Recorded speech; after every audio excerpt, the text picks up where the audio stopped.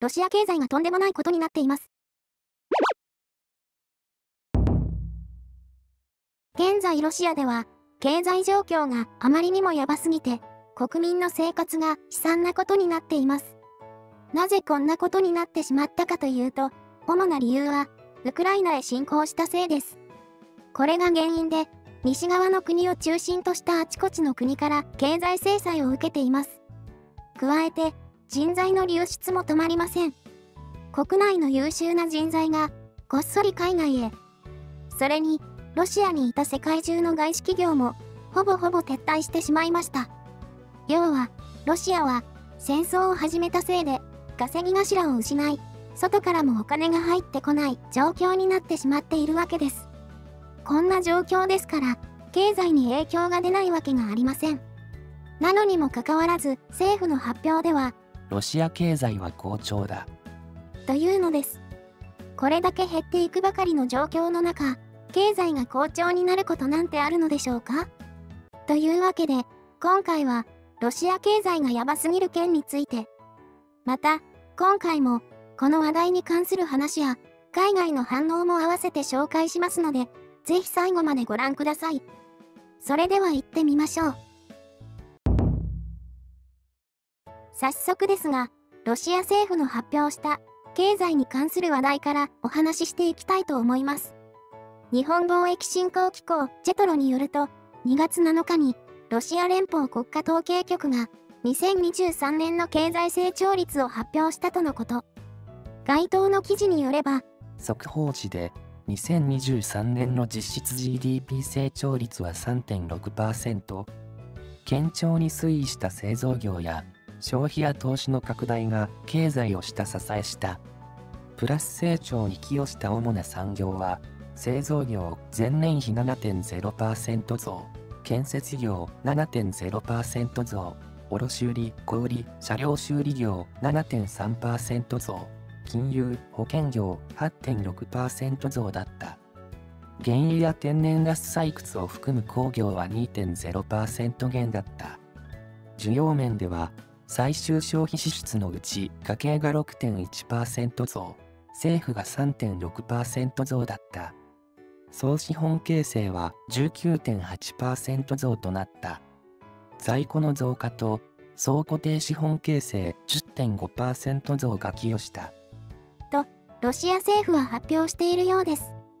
このことについて、マクシム・レシェトニコフ経済発展省は、成長の要因は、消費と投資需要の増加である。消費の増加には、企業収入や賃金の上昇が寄与した。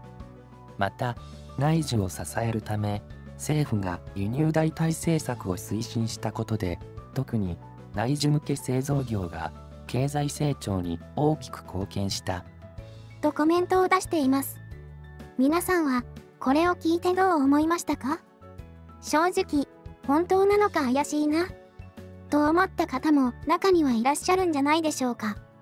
実際、世界から見ても、このロシアの発表はあまり信用されていないようで、2024年の実質 GDP 成長率について、IMF はプラス2.6%、世界銀行はマイナス1.3%という予測を出しているようです。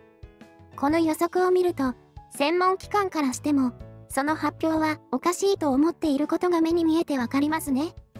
プーチン大統領は、2023年の経済成長率は、ロシアは世界の平均成長率の3%、先進国の1.5%を上回った。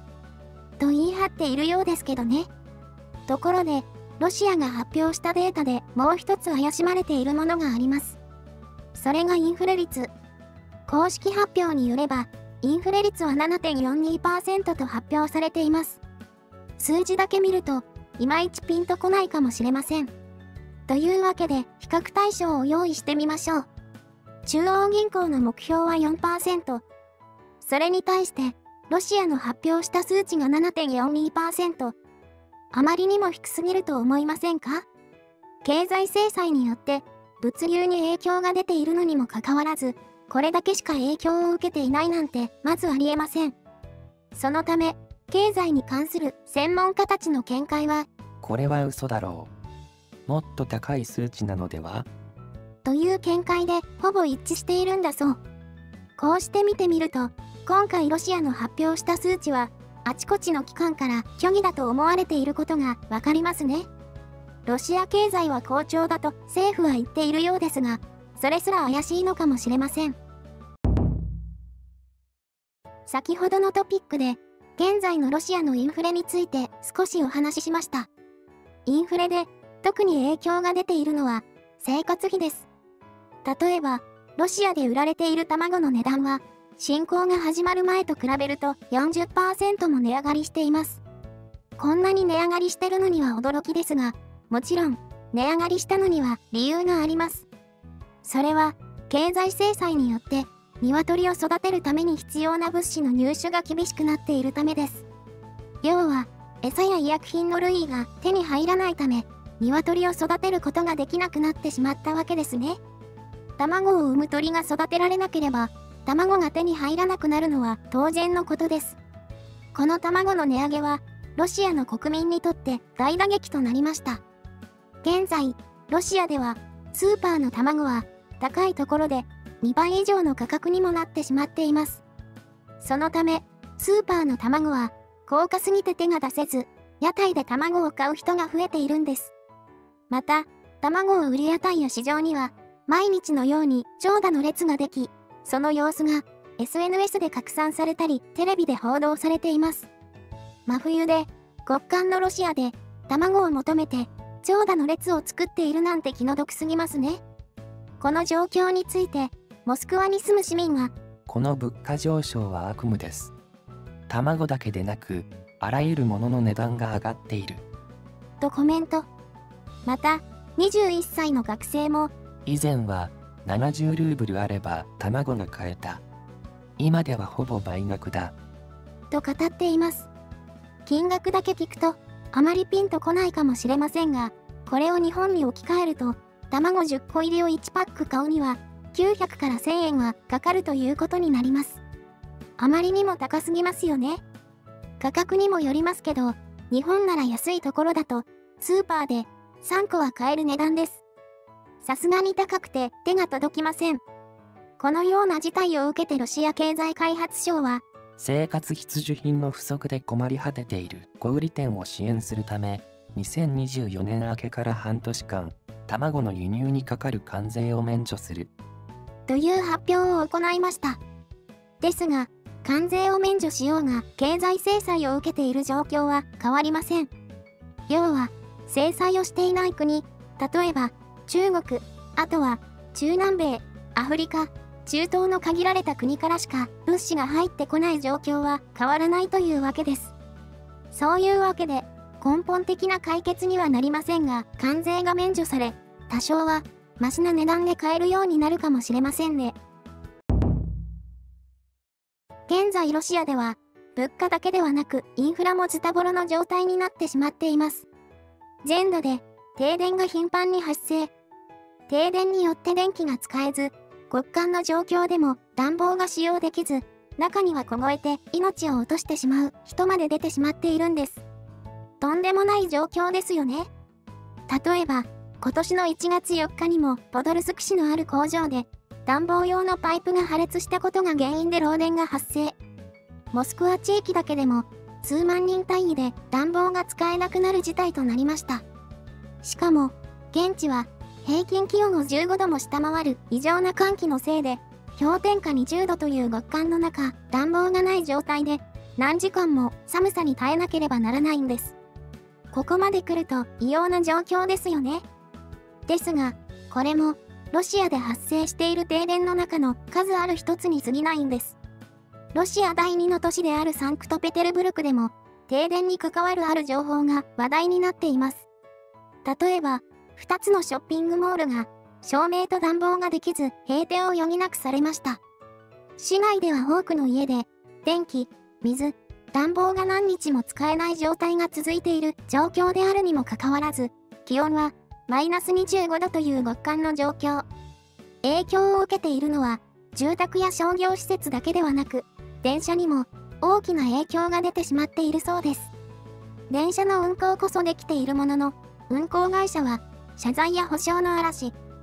現在分かっているだけでも、パイプの凍結によって、車内のトイレが使用不可サマラからサンクトペテルブルクまで、20時間も暖房なしで運行せざるを得なかった。あまりの寒さで、車両の窓が凍りついていた。極寒の中、毛布や温かい飲み物すら乗客に配られなかった。など、とんでもない事態が起きていると SNS やニュースで話題に。このような事態が幾度となく起きているため、運送会社は何度も謝罪と保証を繰り返さなければならない事態になってしまっているんだとか。運送会社もいい迷惑ですよね。ところで、ここまでインフラがボロボロになってしまったとなると、なんでこうなる前にどうにかできなかったの？と思う方も中にはいらっしゃるかもしれません。ですが、それにはもちろん理由があります。ロシアがインフラがボロボロになっても直せない理由、それはインフラなどを支えていた超優秀な人材が海外へ逃げてしまったこと、また、インフラを整備するためのお金の余裕がないことが関係しています。まず、ロシアでは人材の流出が非常に深刻です。ウクライナ侵攻が始まった2022年2月からたったの数ヶ月で50万人前後がロシアを離れてしまいました。数ヶ月で50万人もロシアから人材がいなくなるなんて大変なことですよね。しかも、この離れた人材というのが、実は、ただの一般人ではなかったんです。というのも、その人材の多くは、高学歴で知識豊富な労働者や、熟練された技術を持つ労働者たちで、ロシアにとって失ってはならない人材ばかりだったんですね。それが、50万人もロシアから出て行ってしまった。これは、インフラを直す人や維持していた人を含めた、ロシアを支えてきた人々がたくさん出て行ってしまったと言っても過言ではないわけです。さらに、現在ロシアを離れたこの精鋭たちの数は100万人を超えたと言われています。要は、侵攻開始から2年でロシアを離れた優秀な人材の数は倍まで増えてしまったのです。そりゃあ、インフラに影響は出ますし、経済にも大打撃を与えますよね。では続いて、インフラを直す余裕がないほど経済状況がやばいことについてです。これは、資本の流出が関係しています。冒頭でもちらっと話した通り、ロシアは、ウクライナ侵攻以降、西側の国を中心とした国々から経済制裁を受けています。最近も、2月23日に、ロシアによるウクライナ侵攻から2年になることを受けて、欧州連合 EU が追加の制裁案を採択したばかり。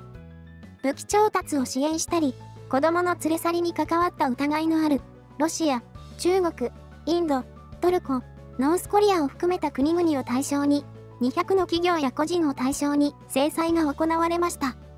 また、同日に、アメリカも、ロシアの野党指導者であったアレクセイ・ナワリヌイ氏が命を落としたことを受けて、ロシアの500以上の個人、団体を対象にした追加制裁を発表しました。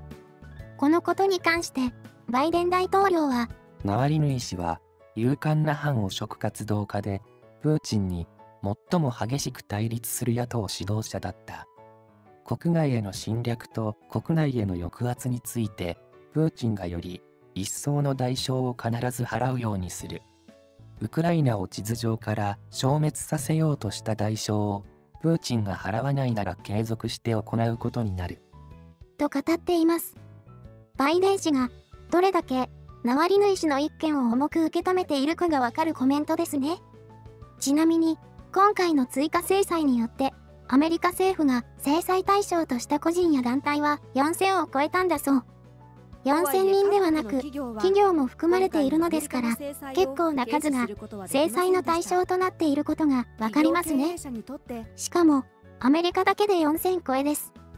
EU の制裁対象も含めたら、経済制裁を食らっている数は、さらにそこから増えます。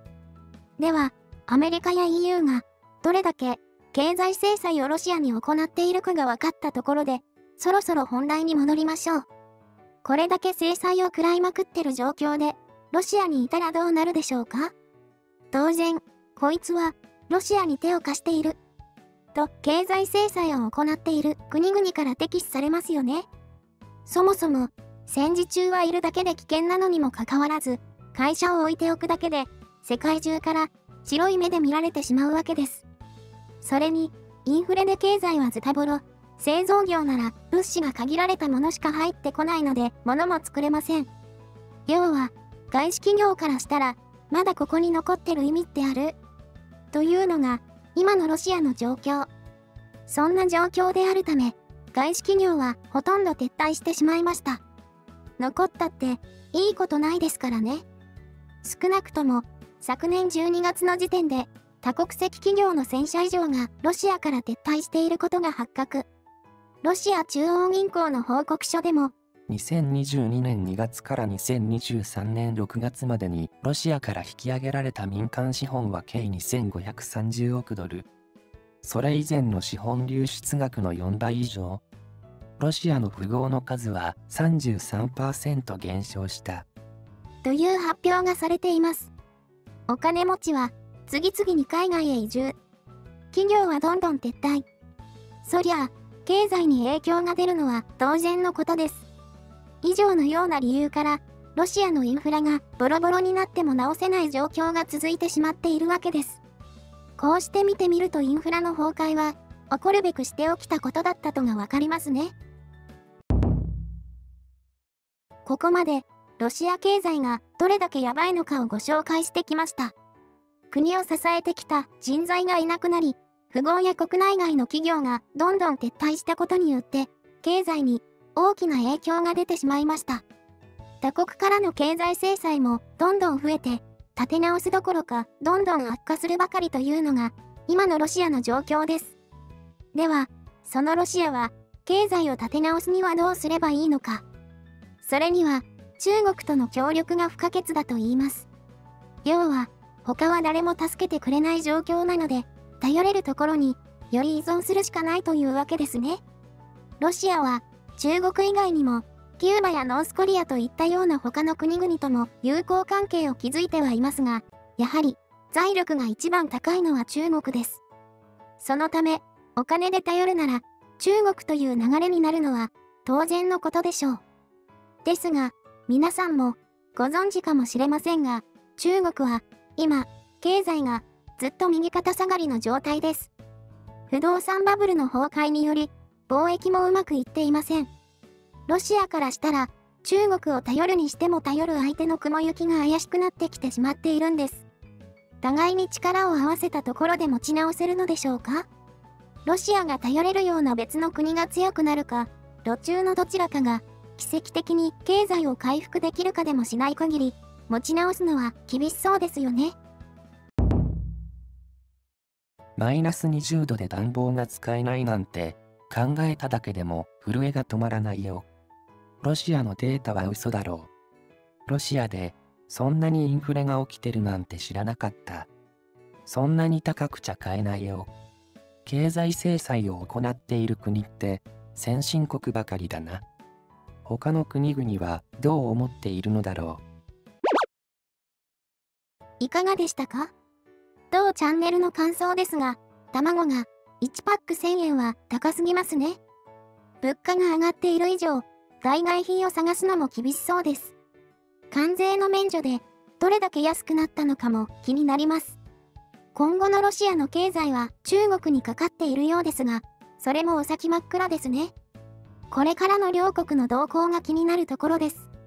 よかったら、皆さんの意見や感想も聞かせてください。それでは、最後まで見ていただき、ありがとうございました。